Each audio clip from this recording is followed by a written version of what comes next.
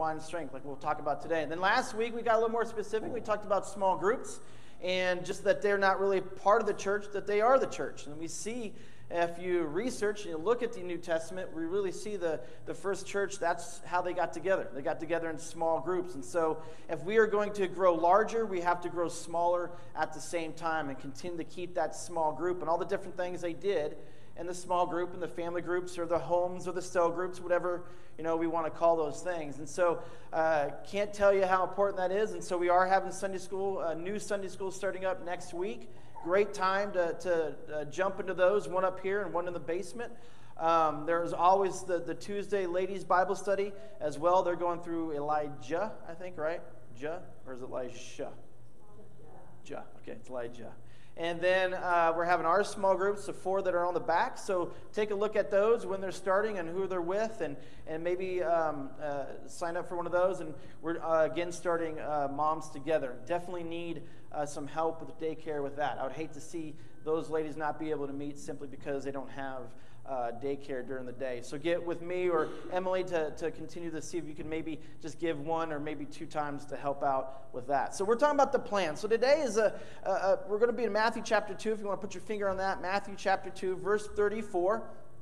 But what's the plan of loving God? Very We've heard this before, I know that, and it's one message that we will continue to talk about often. And it's one that we always have to kind of come back to and get our compass lined up where, you know, it really needs to be. Because here's the thing. If we aren't loving God first, everything else we do just doesn't make that much sense. If we're not loving God first, then our small groups aren't going to really make that much sense. They're just going to be a bunch of us kind of getting together and, and talking about stuff. Um, if we're not loving God first with uh, Bible club, it's not going to make a lot of sense. In fact, it'll just become more work. It'll become tiring. It'll become a chore. It'll become a duty. Uh, and we won't see the, the big picture with things. If you guys are just going to come to church and you're not going to love God, it's going to become extremely boring and you won't get much out of it. If you're just coming for an experience, then, then that's, as, that's as much as you're going to get. If you're going to go on a mission trip and you don't really love God first, it just doesn't make sense. You're just going again just for an experience. You're kind of just going uh, to see what it's all about, and that's as much as you're going to get out of that thing. But when we have this love for God first, and that's our first step, it changes the perspective of everything that we do. And that's why we need to keep that in the forefront of everything we're doing. Is there like music playing in the background? Oh, does that help? if I preach with a little bit of music in the background? It's like all nice and Poor Pat. He's like, oh, there it goes. Awesome. Thank you. And I can start doing the waltz or some dancing or something. It's lovely music. But, so we're going to look at Matthew chapter 22. Um, there are a lot of commands. I don't know if you've ever actually, you know, if you read through the Bible, especially the Old Testament, there are a lot, a lot of commands. And one of the questions that even I think we ask all the time, we're always doing the top 10 lists, you know, who's in the top 25, who's in the top five. When it comes to sports, we're always talking about who's in the top 10 of this and that. Uh, we like lists. You know, we like to see if you were to choose what's the most important thing out there, you would, uh, you know, you'd have some. What's your favorite food? All these types of things. We always kind of want to know, you know, what's the top of the top of, of your list. Um, and if you look at the commands, there's about this could be debated. There's about 613 commands, at least in the Old Testament, from all the old, uh, you know, the old covenant. And so these rabbis and these guys that knew the law, that taught the law, that learned from the law, they had that debate all the time. They had the debate of, all right, so if we have all these commands, what's, the, what's the, the most important one when it comes to God? What do you think his top five is? What do you think his top two is? What do you think his top one is? Um, not too long, when I was in high school, I don't know if you guys like these. I, I, don't know if this is just an older thing or what, but in high school, I love to do puzzles. Anybody love to do puzzles? Who loves to do puzzles? Raise your hand. I want to see. Puzzle lovers. Come on, put them up. Be excited. Don't be afraid. There you go. I know, it's kind of a nerdy thing, isn't it? Uh, to put puzzles together. But when I was in high school, I'd be in my basement, my, my parents' basement. It was kind of our TV room, and I have the little card table up, and I would be doing my nerdy little puzzle. And if I had a friend come over, I was like, oh, no, that's my parents' I don't do puzzles. You know, they're, they're old people. They do that kind of thing. But I, I don't know. I love it. I love that the fact that even if you walk by a puzzle, you just want to put like one piece in, right? You just want to at least do one, just one piece. And then if it's not your puzzle and you find out, you can always get mad uh, with that person. But there's nothing worse than doing a puzzle and then not having that last piece, right? That missing piece you always talk about. It's like tear the place apart. Kids, stop what you're doing. We got to find that one piece. Or it's not even worth doing sometimes. You feel like you just wasted all that time. Uh, offhand, uh, we had a puzzle not here just too long ago, really hard one, and we had a little kid, two year old, and I heard throwing in the background. And I, we spent probably three, four hours on it already, and he was taking the pieces and chucking them. I walk in, I was like, kid. I'm just gonna, man. And so we just threw it in the box. We were done. No way I'm putting back, you know, I'm not doing the border or anything on the puzzle. But here's the deal the missing piece when it comes to our walk with Christ, without a doubt, it's not the love of the church, it's not the love of, of people, it's the love of God. It's having the love all the way through. That's what we see. From the very beginning of the Old Testament, we see the very end of the New Testament, that underlining, overlining, whatever it is, it's the love that we see that brings everything definitely together. So the question is this, though. It's a big question to ask. Um, you know, what do you love most in life? That's a big question to ask. You know, what do you love? What you know? What makes your heart skip? What do you What are you always anticipating? What are you always kind of just looking forward to? And that is a big question. I think that we need to, as Christians, always be asking on a regular basis. If you had to choose today one thing, you know, what would that one thing be? Now, I, we believe here, you know, definitely the church exists uh, to make disciples of Jesus who love God and who love people in the same way that God loves us. And in fact, I think it's very difficult uh, to love people if we don't have the love for God. And a lot of things don't make sense. So let's just look at the background here. If you're in Matthew chapter 2, verse 34, this is the setting before we read it. This is the week. They call it the Passion Week. Uh, this is the week that Jesus comes in uh, on a donkey. This is the week that we celebrate the, the, the death and the resurrection of Jesus.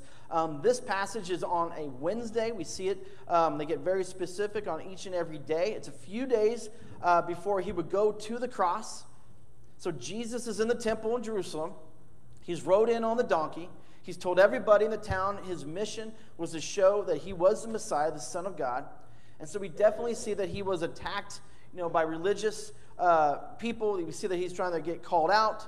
He kind of cleanses the temple by throwing the money changers. That was on Tuesday with him throwing everybody out of the temple. And this is Wednesday when he says this. Many people are following Christ at this point. A lot of people are amazed at how, who he is, but obviously there's a lot of people who are wanting to discredit him, and they're asking him these questions. Um, so let's see what happens in, in, in verse uh, 34. But when the Pharisees heard that he had silenced the Sadducees with his reply, they met together to question him again. One of them, an expert in religious law, tried to trap him with the, with the question. So we see a man in the crowd asking him these questions. And it's interesting, too. I think, um, you know, what kind of questions do you ask people? A lot of times, are you asking, because this could be one way that they could really wanting to be really trying to find the answer here sincerely and really trying to ask real questions, or we're just asking questions for a hidden agenda. I mean, how many times do we do that? How many times do we ask questions because it's a selfish reason we're asking the question? And how many times do we ask the question because we really do care about the person or the situation? Or we're just asking questions to fulfill some selfish need really inside us? And again, if we don't have love on our underlining and the things that we do and the actions that we have and the words that we say, we tend to go right back to our own power and our own desires. Uh, verse 36 Teacher, which is the most important commandment in the law of Moses? And Jesus replied, You must love the Lord God with all your heart, with all your soul, with all your mind. I love that they're trying to trip him up here. They're trying to ask him a very difficult question, and he doesn't say, you know, all the commands, of course, and kind of puts them together, and they're all important. He just says, comes right out and says, yeah, there's two. There's two, and here they are. So our ears should kind of perk up. We should really look at this and say, okay, you must love the Lord your God with all your heart, with all your soul, and with all your mind. This is the first and greatest command. Second is equally like it love your neighbor as yourself. The entire law and all the demands of the prophets are based on these two commandments. Jesus explains the greatest, most important part of life to, and I kind of steal this from another guy. You've maybe seen this many times at other places to love God and to love people. That's it. I mean, that covers a huge chunk of what we should be doing personally, individually, and as a church to love God and to love people. So, number one, uh, the fill in here learn. We need to learn to respond to God's love. A lot of us know this love. A lot of us have heard about this love. A lot of us have seen this kind of love, but it is not, we're not responding to it like we need to. 1 John 4 19, here it is. It's not difficult, it's not complex, but this is why we do what we do. We love because He first loved us. That's why. That's why we do what we do. Not because we have a hidden agenda, not because we make it feel good for us, not because we could get something from it, but simply because Christ loved us first. When we understand that He has given us life and how blessed we are, to even to have the things that we have, to have air, to have food, to have sunshine, to have shelter, to have clothing, it all comes from the love of God, nothing else. We need to respond for who He is his love and his patience and his kindness and his grace and his forgiveness for us. It should be overwhelming to us. You know, every important relationship that we have, you know, started at the beginning of something. You know, I've joked about when I met uh, my wife, Wendy, you know, she walked through the door of the campus center. We were talking about this yesterday. Her hair's flowing, you know, in the background, and it was slow motion, and heard angels kind of going, oh, and I was like, that's the one for me. You know, I, that didn't really happen. Uh, kind of happened. Um, you know, that was the first time, you know, I met her. And of course, you know, the day that we get married, that's the day we're like, all right, this is the commitment. I love you. I mean, it's kind of, look at this time, there's a, a relationship. When I had my four kids, it's the first time I kind of met my four children. That's where I kind of began my relationship. But with Christ, that relationship is already there before we're even born. He already did what he needed to do on the cross. And that's where we need to start, and that's where we need to respond to who He is and what He is uh, to us.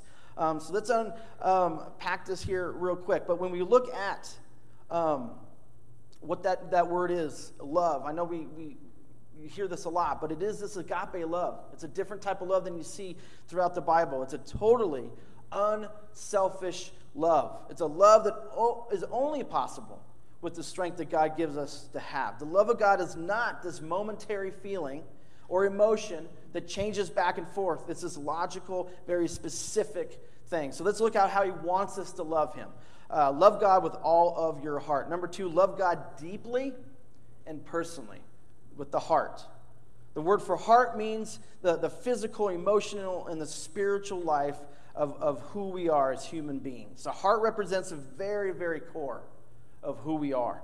It's our motivations, it's our words, it's our actions, it's our very life. You know, not a lot of theologians, a lot of theologians, when you look at this, they, they, they take this verse, they definitely would say that the heart and the soul and the mind definitely overlap a little bit on the, you know, what are these specifically when it comes to the heart. But a lot like it, you know, it's like the ship. You hear this example a lot, but it's very, very true. If our heart is the rudder of a ship, Wherever we are lined up with that rudder, that's where the whole body goes. That's where a whole life tends to go. Matthew 6 21 says, Whenever you treasure is, that is where the desires of your heart is also. All right, wherever your treasure is, there the desires of your heart also. So, whatever is driving your ship, that is really what you treasure. Jesus is saying, I want you to treasure me. That's what I want you to have. That's where I want you to be. Paul wrote that we are to count everything, everything on a loss in comparison to who Jesus is our children, our spouses, our job, our career, whatever we're looking forward to this week, whatever we're looking forward to in a month. Philippians 3:8 says, "Yes, everything else is worthless when compared with the infinite value of knowing Christ Jesus, my Lord. For his sake, I've discarded everything else, counting it all garbage, so that I could gain who Christ is? I mean, we've got to ask that question often as Christians. What do we really believe is absolutely number one in our lives? We so badly want to put both feet in both places, right? We want to just get kind of comfortable with other areas of, of this world. And he's asking, it's very black and white. Folks, it's very black and white. And without us understanding what that love is, it's very difficult to understand a lot of what else God tells us. The status quo equals the way things are.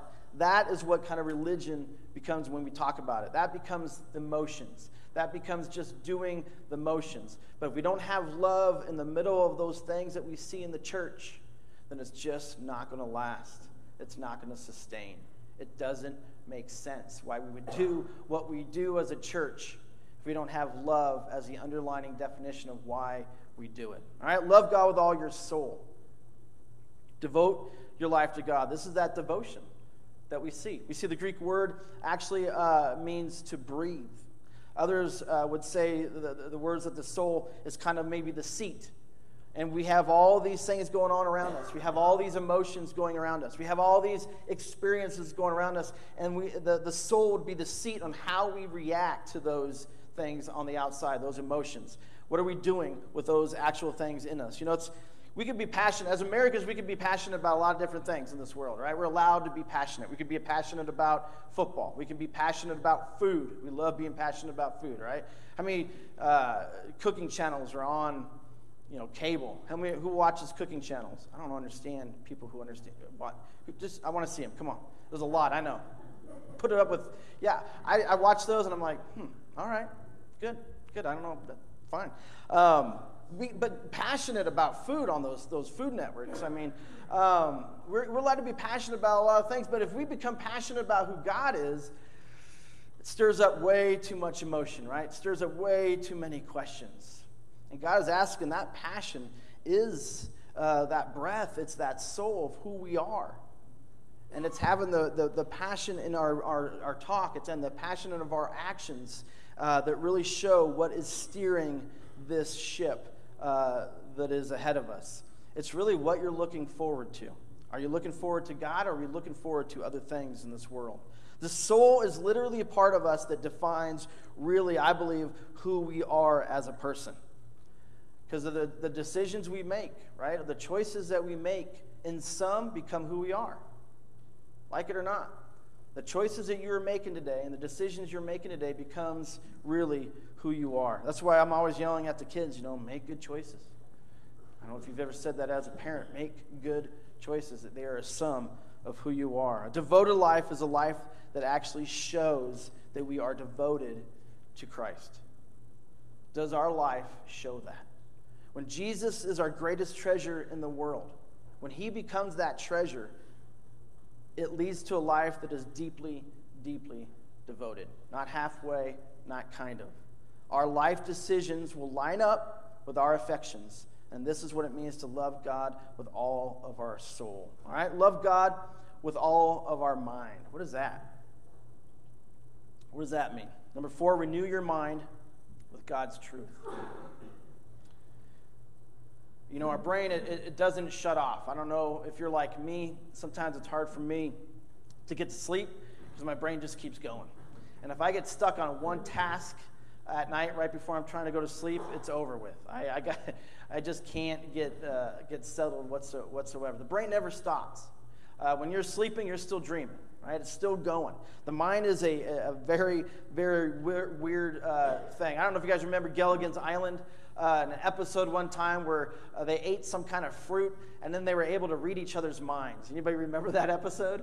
And they hated each other by the end of that episode because they could read everything that was going on in each other's minds. I mean, the mind is a weird and crazy thing that we have, but the scriptures tell us that we have to kind of relearn, we have to retrain, we have to renew our minds, is what it says in Romans 12 2. Don't copy the behavior and customs of this world, but let God transform you into a new person by changing the way that you think. Then you will learn to know God's will for you, which is uh, good and is pleasing and is perfect. We start to think things differently, right? Through the eyes of Jesus instead of ourselves. Jonathan Edwards, I don't know if you guys know Jonathan Edwards, he was a guy back in the Great Awakening, once said, Seeking God, seeking after God is the main business of a Christian. It means it's always on their mind. It's always there. It's always thinking, what would God do? It's always thinking, where's the church here? Where's Jesus here in this situation? At work, with my relationship, with this confrontation I just had, with a decision I have to make, with this friend that just got me angry. I mean, it's everything. With my children, with my spouse, with my boss, with the people that, are, that work under me. You're always just thinking those things through and going through the, the, the love of God through every single one of those situations. How do we seek after God? Is it in our thoughts? Are we thinking about Him often? Or are we just coming to think about Him when we're in trouble or when we come to church or when we are in these situations where we're supposed to be thinking of God? Or has He renewed your mind where it's always on God? No, we don't get um, the love of God through, you know, a hip transplant or uh, operations or, you know, we can't just put those things inside us. The only way we can be transformed is when we have a renewing of the mind. Romans 12, 1. A renewed mind results from diligence, diligently pursuing the knowledge of God. We are consistently and constantly seeking God and who He is. Anybody who despises that, anybody who despises knowledge like that, you can, you can, you can pretty much bet they're probably not following God with their heart, soul, mind, and strength. They despise it. Number five, we do everything for God. Everything for God. Mark uh, 12 30 says, You must love the Lord your God with all of your strength.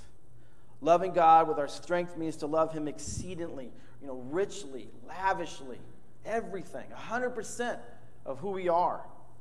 I mean, it signifies a, an output of energy towards God. How many of us, when you go through something mentally, it's tough, you're like, oh, I need to wind down.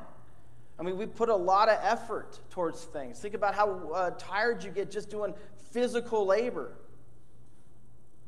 And we put that labor, that, that he's saying we do everything, even the physical part of who we are, towards uh, God and, and his, his love.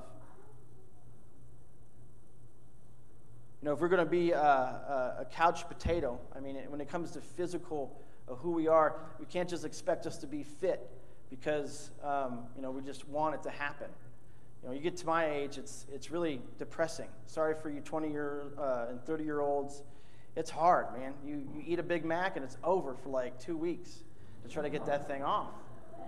Right? And before, when you're young, you just kind of hope that you lose weight and it seems to just melt off. You're like, I, I hope, I, hope I, I lose 10 pounds. Boom, it's gone.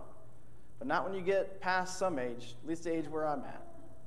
And we just kind of hope that things are going to fall into our lap. You know, we just kind of hope that maybe uh, I'll just get it someday. But we have to have this pursuing. We have to have this want to know who God is, or we'll never understand Him. And He says to do everything uh, through Him. So, you know, That's uh, the plan. The plan is to love God. The plan is to love God from the very, very beginning with everything that we are. And here's the key when we start to love God, we start to love the people that are around us. It's very difficult to love people and not have the love of God inside us. It's a lot of work. And in fact, I think we just burn out. In fact, I think we just kind of give up. It's too much work because that's all it ends up really being is work. And so think about how you deal with people. Think about how your relationships are right now. You know, are they good? Are they rough? Is it hard to love people when you see them? Is it hard uh, to um, see when you see somebody in need? Do you kind of turn and run? Do you, do you try not to be noticed so you can just go on with your own life? And does it seem exhausting? It's going to if you don't love God first. But when we start to love God first, we start to love the people around us. And the things that we do in this church start to make a lot of sense. There's somebody that told me this, I'll close kind of with this, is that you know, life is about 90% of what happens to it, or 10% about what happens around us, and 90% of how we respond to it. Think about that. Life is about 10% of what happens around us and about 90% on how you actually respond in the situation. And God is saying, if you're going to love me with your whole heart, soul, mind, and strength, then, then it's everything. It's got to be everything. It can't just be some things you want. How are you responding? Are you responding with arguments? Are you responding with excuses? Are we responding with, oh, you know, the world this day, I just don't get it anymore. I don't know. These young bucks, these kids, these, these days. Or are we saying, you know what? How are we going to love the people that need Jesus? How are we going to love the people that do love Jesus that are struggling? What are we going to do? So I hope that when we start doing some of the things in this congregation, that that it becomes the, the underlining reason why we do what we do. And so uh, next week, we're going to talk about that. We're going to talk about loving people. And uh, we pushed back the um, one simple thing we can, I mean, there's a thousand different things, but just as a group that we can do together as a family is we usually have this picnic that we always do, right? You guys ever notice that we didn't have it? Anybody notice? We didn't have the uh, potluck at the, at the park? Nobody noticed, right? Oh, someone did. Okay. Um, we always do like a corn a whole tournament, kind of just hang out, and have our potluck. We're going to do that still, but we're going to have it out front here. The reason I want to push it back because it's a thousand degrees usually when we do it, and there's flies everywhere, and it's kind of miserable, and you need some trees for some shade. I want to do it out here though, mostly for the reason because I want to be able to invite the people in our neighborhood. You guys all know about this this uh, apartments, you know, just uh, right over here. Um, they're rough. Uh, some of the worst places I've seen, and I've been to a lot of rough places in my life. It's time for us to get out and start ha- and, and inviting our neighbors, start looking at the people around us. And if there's one little tiny thing we could do, we can invite them over for some food and say, hey, come on over. We're right here. This is our neighborhood. These are the people that are right next to us. And if we're going to have the love of God, we've got to have the love of people follow that. And so I want to be able to have a few of you just come with me and, and go through those hallways and, and give them a little, hey, we're going to have a, a potluck uh, and, a, and, a, few Sundays on the 26th. Love to have you. We're going to have some inflatables out here. We're going to have a, a real competitive cornhole competition because that's important. Um, me and me and Will are the uh, the champions of the uh, fair one that just happened. So bring it, I guess is what I'm saying. Um, we're going to have fun. I want to, but if, if just one person comes to that that we don't know as a congregation, I hope they are just overwhelmed by God's love. I want some of the things that we do be very, very pointed and underlining loving God our heart, soul, mind, and strength, and loving people. If you haven't made that decision, I don't know where you're at, some of you. Um, we always just give a, a time where you can come forward on Sunday morning. Maybe you haven't really responded to God's love yet. And when we sing is always a good time. It doesn't say that in Scripture that when you sing that that's when you have to come forward. It's just when we do it. But it's a great time to come up here. If you're ready, we can fill the baptism up and we can give you some clothes. And we can do that right here, right now, and not wait, not give any excuses anymore to give your life to Christ fully and totally um, like Christ has asked us to. And those of us who already have, this is how we're going to do things. We're going to do things with the underlining uh, idea that we love God and that we love His people uh, around us, whoever we can get in the way of, and whoever He puts in front of us. All right? Let's pray. Father, I love you. I thank you for today. I thank you for this congregation. Um, Lord, we're not perfect here, Lord, by any stretch of the imagination, but Lord, we're, we're faithful to you, Lord, and we give our lives to you. And Lord, I don't know where some are here. If it's time for them to give their life uh, fully and devoted to you, I pray that they do. I pray they come and talk to me or come up here and, and share it with the world and share it at least with this congregation. And Lord, you know where we are this morning. Sometimes we just always need to get that compass right back on to you, pointing right to you. So, Lord, I pray that, that in everything we do, all of our speech and all of our actions, what we do with our children, what we do with our spouse, what we do at work, what we do in all these committee meetings and, and different things that we're involved in, I pray to all just center around you and your love. I pray that we could really understand that to, to, to, to be your church, we have to love you first. And uh, then we can open our eyes and really see the people around us that, that you love so much, and so we love them as well. Father, I love you. I thank you for this congregation. I pray you continue to give us direction uh, when it comes to those things so that we can be in your will. It's the name of Jesus Christ that we pray these things. Amen. You want to stand, we'll close with our closing song. So, yes, we have a few things going on. Uh, do check out the back there. Uh, it's got the signups for uh, the small groups. Some of them are starting this week, a good chunk of them in a couple weeks. So um, keep track of that. And we got the um, Back to Church picnic we'll be doing on the 26th. And so, great time to invite a friend, And we'll start passing those things out around the neighborhood, and uh, hopefully we can uh, do that well. It'll be a, a, great afternoon. Hope you guys have a great week. It is really good uh, to see you all. I love you guys. Have a great week. See you next Sunday.